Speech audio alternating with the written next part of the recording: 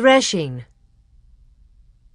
The wind howled and the snow whirled, and a mournful sound came from the cedars. The skeleton apple trees rattled their branches together like bones. All outdoors was dark and wild and noisy. But the solid, strong barns were quiet. The howling storm beat upon them, but the barns stood undisturbed. They kept their own warmth inside themselves. When Almanzo latched the door behind him, the noise of the storm was not so loud as the warm stillness of the barns. The air was quiet. The horses turned in their box stalls and whinnied softly. The colts tossed their heads and pawed. The cows stood in a row, placidly swinging their tasseled tails. You could hear them chewing their cuds.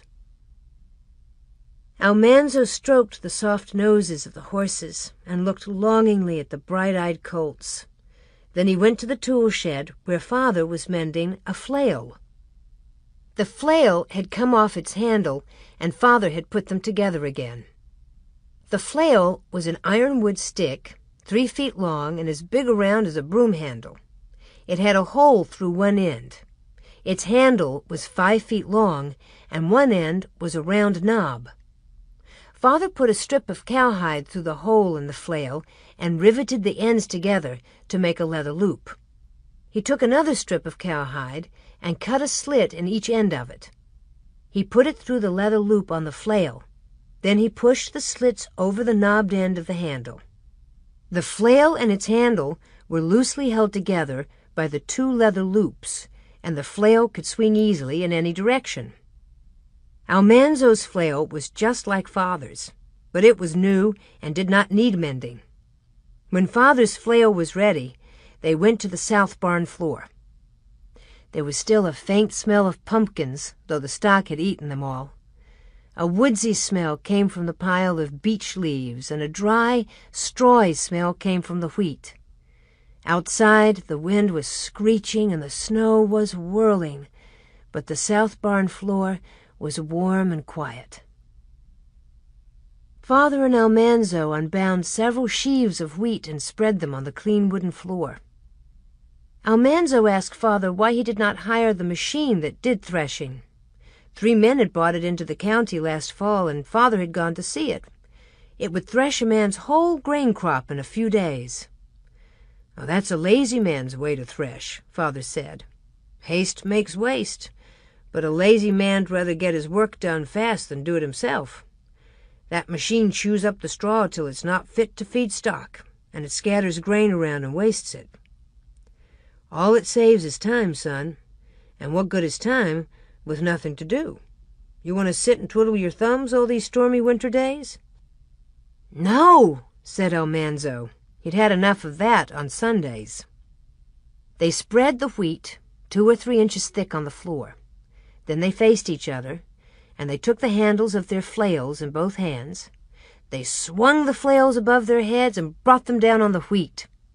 Father's struck, then Almanzo's, then father's, then Almanzo's. Thud! Thud! Thud! Thud! It was like marching to the music on Independence Day. It was like beating the drum. Thud! Thud! Thud! Thud!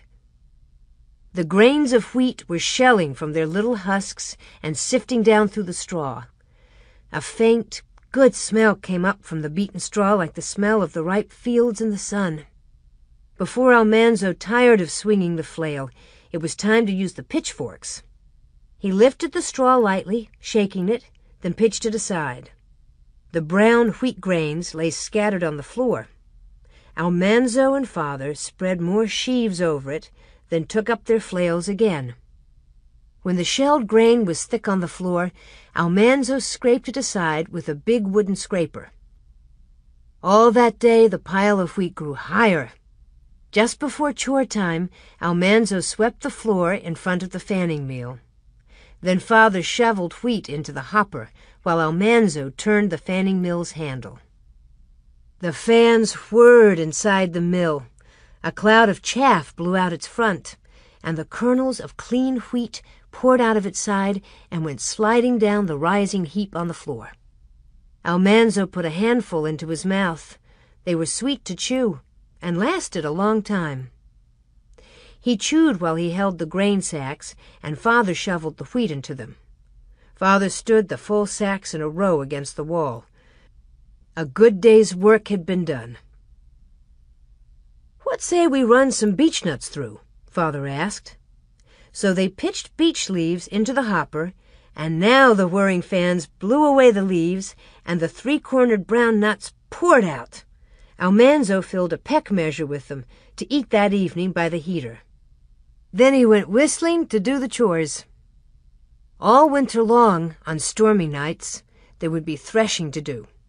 When the wheat was threshed, there would be the oats, the beans, the Canada peas.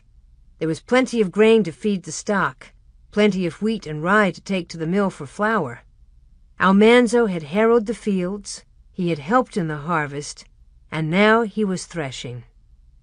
He helped to feed the patient cows, and the horses eagerly whinnying over the bars of their stalls, and the hungrily bleating sheep, and the grunting pigs. And he felt like saying to them all, You can depend on me. I'm big enough to take care of you all. Then he shut the door snugly behind him, leaving them all fed and warm and comfortable for the night, and he went trudging through the storm to the good supper waiting in the kitchen.